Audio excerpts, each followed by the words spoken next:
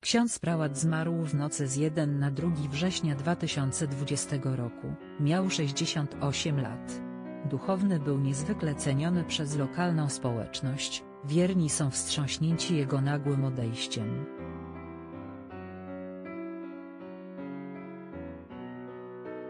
Polskie miasto pogrążyło się w żałobie.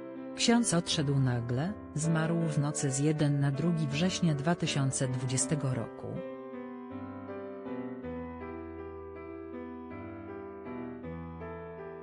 Ceniony duchowny miał 68 lat, całe miasto pogrążyło się w żałobie. Wierni nie mogą uwierzyć w to, co się stało, śmierć prałata jest dla nich ogromnym ciosem.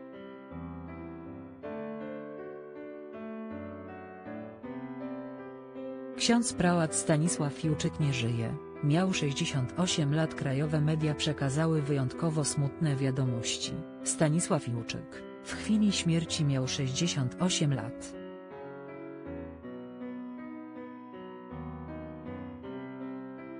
Duchowny odszedł w nocy z 1 na 2 września 2020 roku w Częstochowie, gdzie przez wiele lat pełnił funkcję dyrektora Caritasu Archidiecezji Częstochowskiej.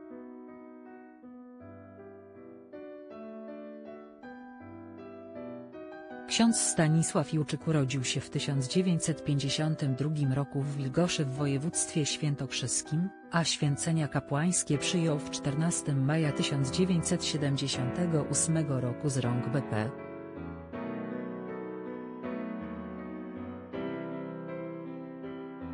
Stefana Bareły w katedrze częstochowskiej Świętej Rodziny. Oprócz stanowiska dyrektora lokalnego oddziału Caritasu, pełnił również funkcję proboszcza parafii PW.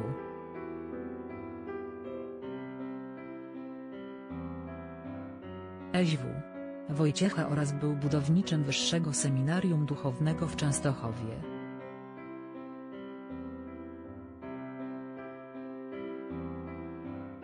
Ksiądz Stanisław Juczyk pełnił m.in. funkcję dyrektora Caritasu Archidiecezji Częstochowskiej duchowny nauczałem.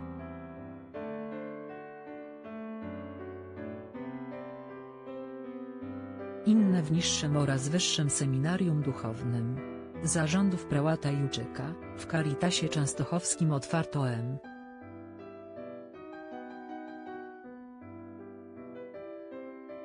Inne poradnie rozpoznawania płodności. Swoją działalność inaugurowało również Częstochowskie Okno Życia.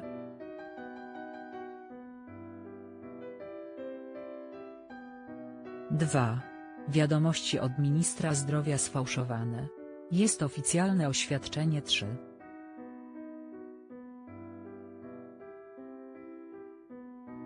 Ksiądz Stanisław Juczyk był wyjątkowo cenionym członkiem lokalnej społeczności, a także Kościoła katolickiego.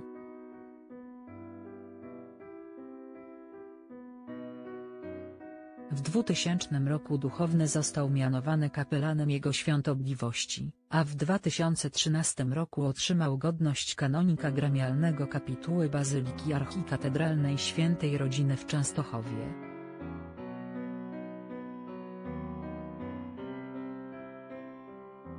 Z kolei w 2015 roku KS. Juczyk został wybrany na dziekana regionu częstochowskiego.